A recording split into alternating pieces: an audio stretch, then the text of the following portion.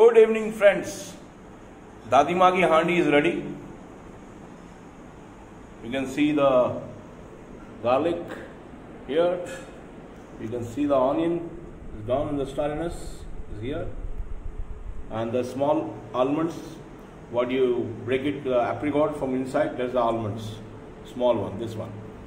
And the another one all dried fruits. And it's go very well with the, you know what? Boom, boom, boom, boom, boom, boom, boom, shirmal. And go with very nice with saffron rice. Here we go for the saffron rice is here with the little dry fruits and whole spices. Let's go very well with this.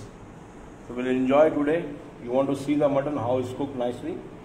It's hot, but I'm just trying to get one piece for you. Okay? See this. This is दादी माँ की हांडी is ready now big cucumber enjoy with lemon and spring on in I just cut in top on the white one now will going to have this okay friends good evening friends मैं आपको dish के ingredients दिखाऊँगा. आपको dish का नाम guess करना है. तो उसमें है beetroot carrot ginger garlic onion half K G ghee use होगा और 50 ग्राम ऑलिव ऑयल मोटा नमक, धनिया, ये तो आप सुबह मैंने डाला था, किसी ने जवाब नहीं दिया, ठीक है? इसको बोलते लाल पतरी, ठीक है?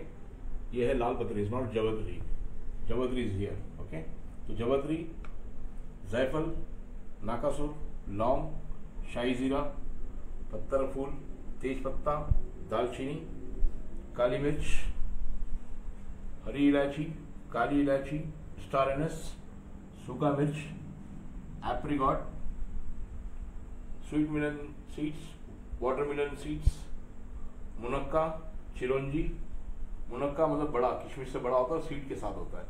बादाम काजू अखरोट और पिस्ता। और साथ में है दो किलो मटन जिसके बड़े बड़े पीसेस कटे हुए हैं। रान को हमने बोनलेस करके कराया। तो आपको डिश का नाम गेस करना है। इंग्रेडिएंट्स मैंने आपको बता दिए सारे। ठीक है? Guess the dish name dish का नाम बताना है। And two K G boneless mutton big cubes plain normal water apricot in this. Then we'll put almond and cashew nut काजू बादाम, पिस्ता, अखरोट, चार मगज, खरबूजे का बीज, तरबूजे का बीज, मुनक्का एंड चिरंजी। इनको रात भर भिगा लेना है पानी में। नाइट हमने जो ड्राई फ्रूट सोक कर लिया था, वो निकाल लिया है। पानी का कलर देख लो आप, कैसे हो गया है। ठीक है? अभी कुछ नहीं करना है, बस एप्रीगॉट को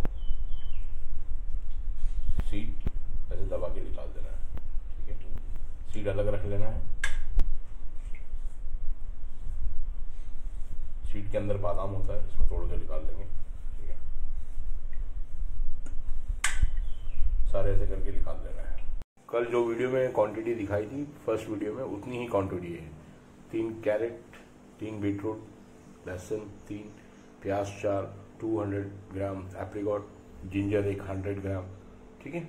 The same quantity we not change any quantity कुछ कंफ्यूज है तो आप वीडियो स्टार्टिंग में जो डालिए वो देख सकते हैं उसमें समझ में आ जाएगा। जो हमने रात में भिगाया था एप्रीकॉट हमने उसको निकाल लिया है, अभी बस पिस्ता और बादाम का छिलका उतार लेंगे, ठीक है? एकदम फुल सारा हमने एक हांडी में डाल लिया है, ठीक है, जो अभी मटन के बड़े बड़े पीसेस हैं हमारे पास। राम का मटन ही, उसका ही बड़ा बड़ा पीस निकलेगा, बाकी चीज़ों का नहीं निकलेगा तो राम की गोश्त को कराना है, ठीक है? मटन को अच्छे से वॉश कर लेना है।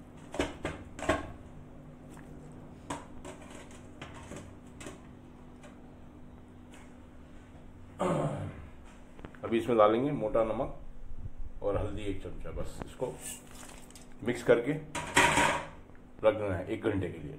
अच्छे से मिक्स करके एक घंटे के लिए रख देना है। एप्रिकॉट के सीड फेंकना नहीं है, इसको दो अच्छे से वॉश करके धूप में रखना है थोड़ी देर के लिए, ताकि पानी सूख जाए, इसको तोड़ लेना है, बादाम निकाल देना है। नॉट नेसेसरी अगर आपको चाहिए तो वेस्ट क्यों करना? बादाम होता है इसके अंदर, बढ़िया सा छोटा वाला, बहुत टेस्टी होता है। ठीक है, मैं इसके बादाम निकालूँगा।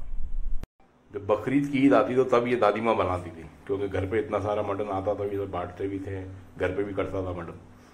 बकरे जब कटते थे तो रान का गोश्त के पसिंदे बनाते, धूप में सुखाते, वो अलग डिश था। तो ऐसे बहुत सारी पुरानी रेसिपीज़ हैं जो घरों में बनती थी। आजकल वो पता नहीं कहाँ चलेगी। ठीक है? तो काफ़ी पुरानी डिश है। कोई पानी नहीं पड़ेगा बस इसमें। सारा कुकिंग बिना वाटर के होगा। तो अब इसको मिला लिया हमने अच्छे से। अब इसको ढाप के रख देंगे एक घंटे के लिए। ठीक है? तो मट्टी की हांडी में हम डालेंगे। 250 ग्राम देसी घी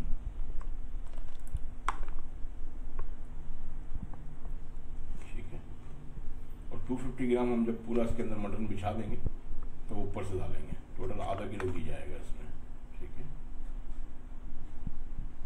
उनको मैरिनेट होके घंटा हो गया है। हंडी में हमने 250 ग्राम देसी घी डाला है और 250 ग्राम घी हम ऊपर डालेंगे, ठीक है? तो थोड़ा सा बीटरूट पहले नीचे लगा लेंगे, बीटरूट, कैरेट, थोड़ा सा ज़्यादा नहीं, बाकी का सारा इसमें हंडी में ऐसे लगा देना है, ठीक है? बीटरूट कैरेट एक आधा प्याज, थोड़ा बेस में डालना है बस। बाकी सारा मटन इसमें डाल देंगे, ठीक है? जैसे आप देख रहे हो पूरी हंडी भर गई दो किलो में। टेंशन मत लेना। सारा घी और 250 ग्राम टोटल आधा किलो घी जाएगा इसमें। ये सारा इसमें ऐड करना है, ठीक है? ओके फ्रेंड्स घी सारा हमने डाल दिया है, ठीक है? थोड़ा सा बचा है, वो भी निकाल देंगे हाथ से। टोटल आधा किलो घी हमने लगा दिया इसमें। बिल्कुल भी पानी नहीं डालना एक खतरा भी पानी नहीं डालना है। ठीक है, और इसको ढाप लेंगे, ढक्कन को उल्टा। ठीक है, जैसे जैसे मटन पकना शुरू होगा, वैसे वैसे वो नीचे जाना शुरू होगा। तो अभी जितना आप ऊपर देख रहे हो, ये नीचे चला जाएगा। ठीक है, टेंशन मत लेना। कोई आटा वाटा लगाने की ज़रूरत नहीं, बस वैसे ही ढक्कन ढाप के अभी हम जलाएँगे चारकोल। तब तक ये हांडी में रहेगा, जैसे चारकोल जल जाएगा, हम चारकोल पर रख देंगे इसको। करीब ये तीन घंटे पकेगा थ्री आवर्स ठीक है? तो बीच बीच में चारकोल गलने के बाद थोड़ा थोड़ा डालना है। दो घंटे तक। हर आधे घंटे में थोड़ा चारकोल ऐड करना है। ठीक है? ढक्कन खोल के देख सकते हैं, कोई दिक्कत नहीं है, ऐसा कुछ कहानी नहीं है इसके पीछे कि नहीं, आटा लगाओ या फिर उसको पूरा पैक करो। कुछ नहीं। ठीक है? टेंशन बिल्कुल मत देना अगर आपके पास चारकोल नहीं है, हंडी नहीं है तो आप गैस पे कुकर में बना सकते हैं। कुकर में बनाने के लिए इसका लब्बर और सीटी निकाल देना है। ठीक है? इसको स्लो फ्लेम पे रख के। गैस पे करीब तीन से साढ़े तीन घंटे गैस पे लग जाएँगे। बिल्कुल मीडियम फ्लेम पे। ये फास्ट कुकिंग नहीं, बिल्कुल स्लो कुकिंग है। एथेंटिक स्टाइल है ये। ठीक तो अभी हम जलाएँगे चार चारकोल शाम तक रेडी होगा डिनर तक। अभी और काम बाकी है इसमें। टू शो यू देख रहे हो? डेढ़ घंटे में ये सीन है इसका। मटन घी सारा आ गया ऊपर। ठीक है? घी में पक रहा है, देखो, घी।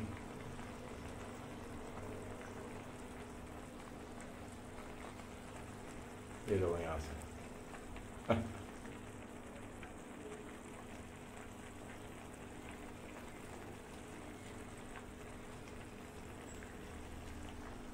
क्योंकि मटन का पानी छूटेगा ना। मटन हो गया, प्याज हो गया, लहसुन हो गया। बीटरूट भी गल गया ऊपर तक। तो नीचे का तो पूरा मस्का ही होगा, हो गया। ये देखो, ये ऊपर वाला सीन है, नीचे वाला सीन बन गया है। ये देखो, पूरा सॉफ्ट हो गया। बीटरूट ठीक है?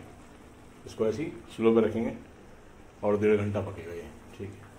टोटल थ्री आवर्स को। डेढ़ घंटा हो गया। ढक्कन हटा के देखते हैं क्या सीन है इसका। One and half hour is done डेढ़ घंटे में ये सीन है इसका। देखो प्याज कैसे हो गया। ठीक है? वापस इसको दोबारा से ढाप देंगे। धीमे धीमे धीमे एग्जॉस्ट बंद करो एग्जॉस्ट का आवाज़ आ रहा है। ठीक है? यहाँ तक कैमरे तक मार रही है इसकी हीट इतना हॉट है। चारकोल जब बार जल जाता है ना, बहुत गर्म हो जाता है। साउंड सुन रहे हैं?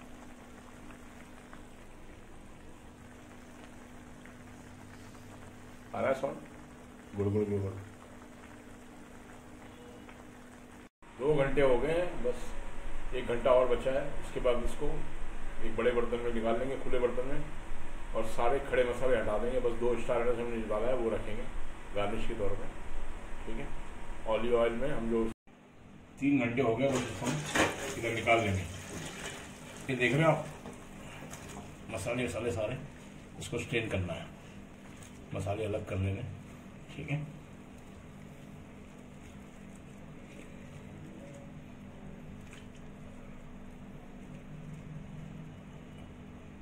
हंडी एकदम साफ़ है, देखो। हंडी में बिल्कुल ये लगा नहीं है।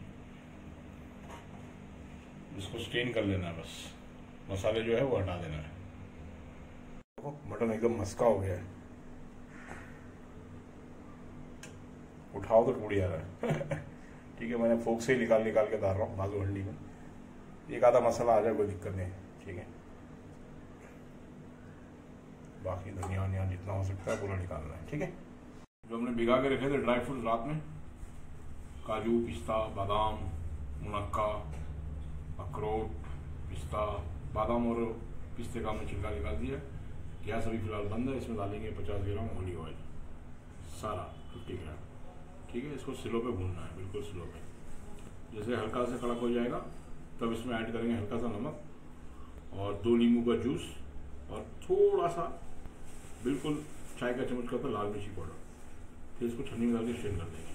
फायर पे करना है ना तो चार मगज जल जाएगा थोड़ा सा मोटा नमक ठीक है इसको और थोड़ा भून लेंगे। उसके बाद ऐड करेंगे, अभी डालेंगे दो नींबू का जूस ठीक है गैस स्लो पे रखना है।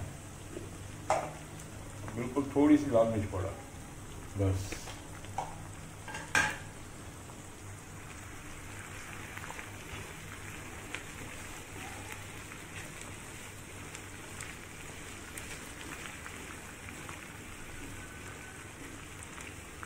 काजू का साइज़ देख रहे हो? आप भिगाने से कितना बड़ा हो गया। जैसे झाग आएगा मिर्ची का, वैसे गैस बंद कर देना है। हमने स्टेन कर लिया है, दो स्टार ने जो ग्रेवी था, हमने निकाल लिया है। और इसमें रख लिया है गार्निश में हम ऊपर से डालेंगे सारा, ठीक है? ये और थोड़ा सा फ्रेश धनिया। इंडियन माइक्रो ग्रीन तो लगाना ही पड़ेगा भाई, है ना?